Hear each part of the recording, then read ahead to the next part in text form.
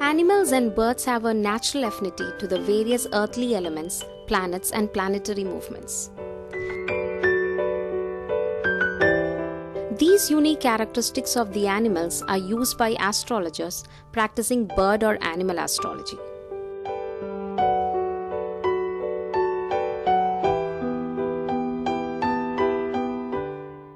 We at Web India came across one such practitioner who uses parrots and what he thought was a rat, but what looked like a guinea pig to us.